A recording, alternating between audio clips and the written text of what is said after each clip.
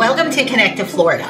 In today's video, we're going to be talking about the four reasons that Naples, Florida is no longer the investment mecca that it used to be. And let me tell you, it used to be the number one place, in my opinion, in Florida that you could just kill it financially if you were an investor. And it really didn't matter what type of investor. Somebody who is just looking to buy something and maybe rent it out part of the year and use it the rest of the year. What I'm speaking to is really, really pretty much anybody who is looking to make money on a real estate investment by means of buy and hold. So really just putting it into a rental program or into the rental market.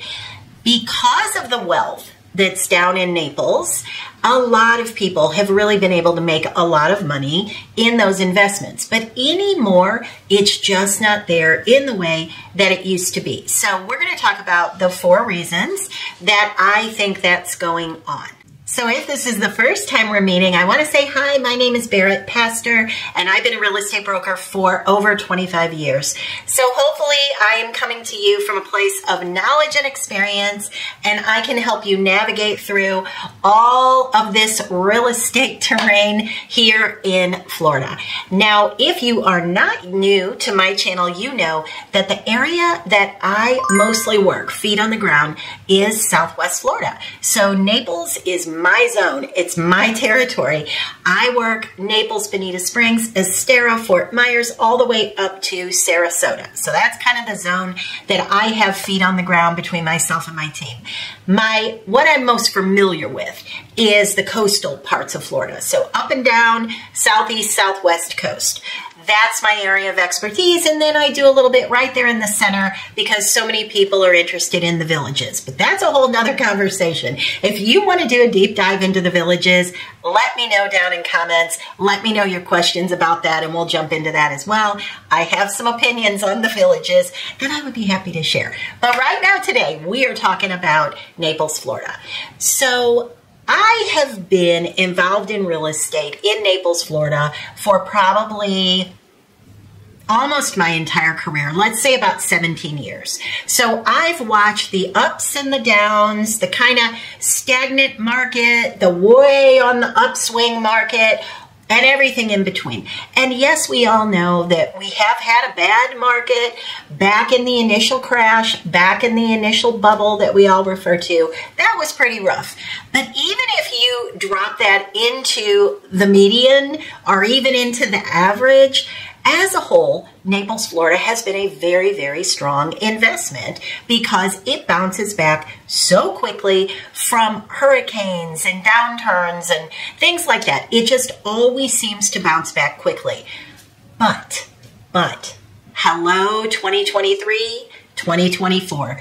Oh my gosh, what the heck is going on? We're going to talk about it. Here are the top four reasons that I think Naples is not necessarily where I would tell you to spend your money if you had a big 1031. Let's say you had a half a million dollars in 1031 and you need to spend it. Where are we going with it? Well, right now, probably not Naples. This is why. Number one, rules.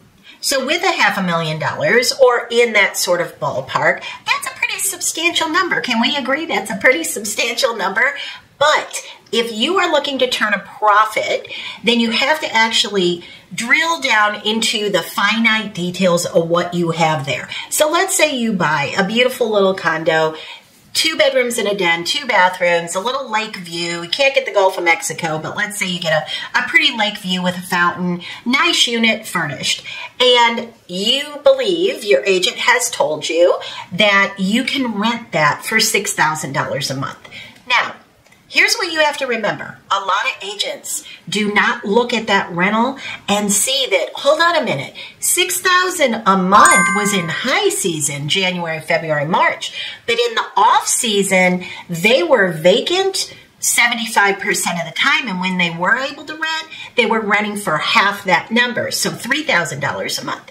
So when you're having somebody run numbers for you, you really have to make sure they're looking at that because we have seasonal numbers and off season numbers. So that makes a difference. You want to look at the end of the day, what does your net number look like? So because of rules, you might say, well, I can, you know, I can rent during the week of 4th of July and I can rent for a week during Christmas. And my agent told me I can rent pretty much every single week in January and do great. People will pay the maximum.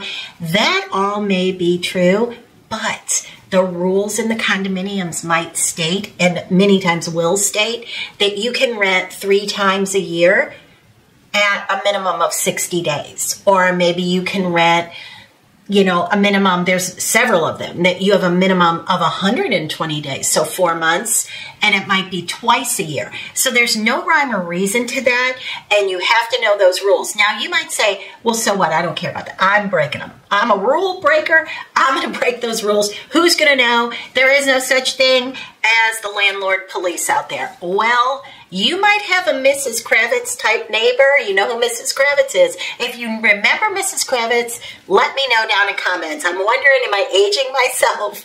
But you might have that kind of neighbor and they make a phone call to the HOA manager and they say, uh, Jim Smith over there that just bought on unit 123, he's renting weekly. He's bragging about at the pool about how much money he's making. And that isn't fair because the rules say we have to have a 120 day lease.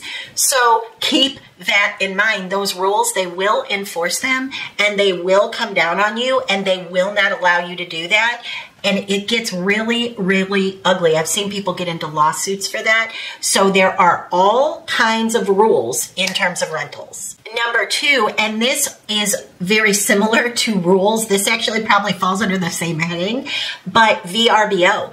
I would say one in three calls that I get is someone saying, I want to do a VRBO vacation rental by owner, and I think sometimes they call it HomeAway now. But basically, what they're saying, or Airbnb, what the person is saying is, I want to rent nightly, weekends, whatever it may be. I want to be able to do that. And some people have gotten wise to it. Maybe they had a good real estate agent tell them about the rules they're going to get in a condo. So they said, you know what, I'm, I'm not worried about it. I have 700,000. Get me the best non-HOA home, single family home, because that's not going to happen anywhere in a condo unless you're doing a condotel and that's another conversation. We don't even want to that's a whole different ball game of problems. So let's say you buy somewhere non-hoa and you're thinking you're going to do great. Here's the thing. Many counties entire counties collier county included lee county included fort myers beach included all of northport included as a city a lot of these places are saying and getting very strict about no nightly rentals or no Airbnb, no VRBO. Now, there is a small handful of communities that do still allow it, but the neighbors absolutely hate it. And they make your life miserable because they don't want to live next door to a revolving hotel door. All right, number three, we are seasonal in Naples, much more so even than Fort Myers or Cape Coral or Bonita Springs or Estero. Naples is very, very seasonal. So is Marco Island, very seasonal. You're going to see the predominance of people in Naples January, February, and March. Now, you do have some folks that show up kind of like right after Thanksgiving, and then they leave about the time that Easter is coming. So about late November to early April. That's the full kind of scope of season. But most people are there January, February, March. That is our high season with the caveat of some kind of stragglers. As soon as it gets cold up north, people are showing up. So figure maybe November to April. That is season for us off season, being those opposite months, it's hard to rent. And most people do run at over a 50% vacancy, depending on what their rules are in their community. Depending on if they bought thinking they could break the rules and now they can't because they're in a gated community because they wanted like a lock and leave. And what's happened is their renters can't get in. They can't get in the pool. They can't play golf. They can't even get through the guard gate because somebody thought they were going to break the rules. They didn't register the lease with the HOA. So their renters are not being recognized in the community. And now you're in big trouble. So that creates a massive problem. All right. And then the last one, hurricanes. Are hurricanes new to the area? No, of course not. They absolutely are not. But historically, we have not been getting bombarded with hurricanes the way that we have in the last, say, three to five years.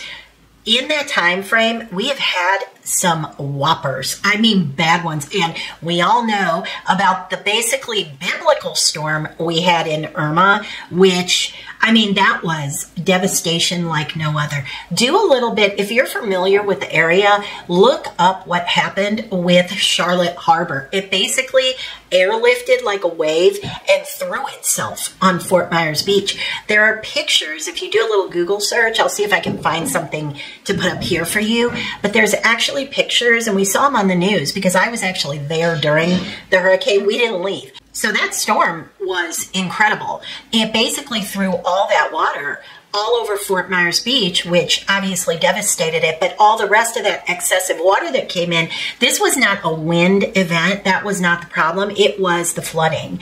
The worst case scenario is exactly what happened. And it just destroyed everything. And it took a solid two years to really even get back to sort of normal.